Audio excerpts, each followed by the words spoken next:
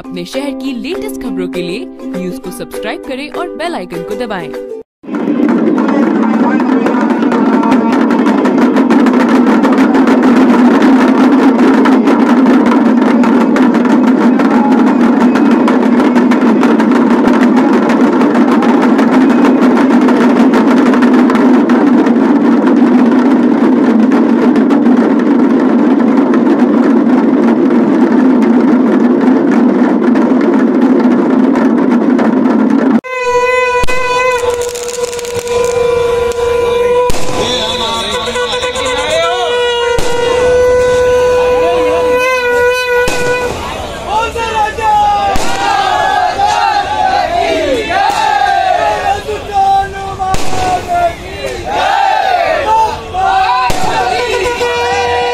Hello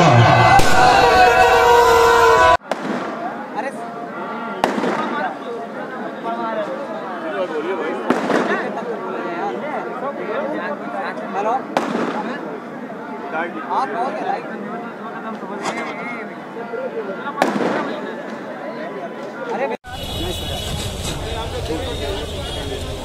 कि आज के दिन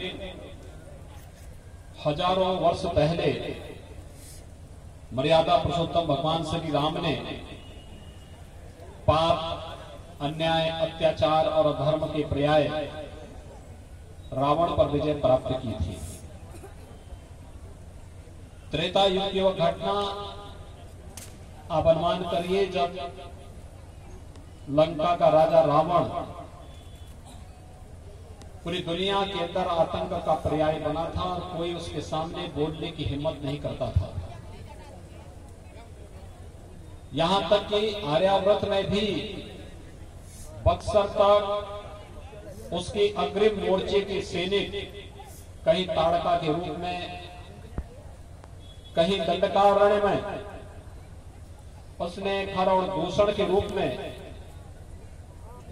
और अलग अलग मोर्चे पर या तो अपने सैनिक अड्डे स्थापित कर दिए थे या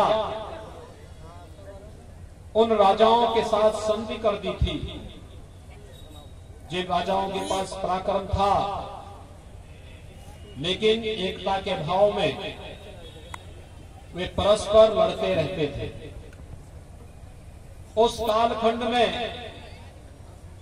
मर्यादा पुरुषोत्तम भगवान श्री राम अयोध्या के राजकुमार थे।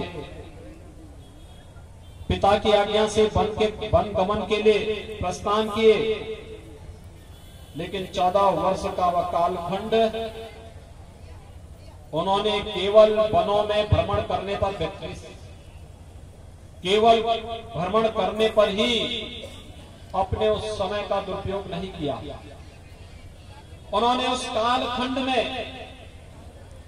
पूरे तौर पर व्यापक जन जागरण के एक अभियान को अपने हाथ में लेकर के एक तरफ़ शास्त्र सम्मत व्यवस्था को हम स्थापित कर सके और शास्त्र सम्मत व्यवस्था के माध्यम से भारत की ज्ञान की परंपरा को देश और दुनिया के सामने रख सके, जिससे ऋषि मुनियों को अभय देने की कार्रवाई जहाँ उन्होंने प्रारंभ की।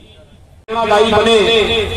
और उनका, उनकी कृपा और उनका आशीर्वाद। हम सब पर बरसे इस विश्वास के साथ आपका जीवन मंगलमय हो। आपके जीवन में भगवान राम की कृपा, की अमृत वर्षा निरंतर होती रहे इस विश्वास के साथ आप सबके प्रति मैं विजयादशमी की हार्दिक बधाई और शुभकामनाएँ देते हुए वाणी को विराम देता हूँ। धन्यवाद। जय हिंद। जय जय श्री राम।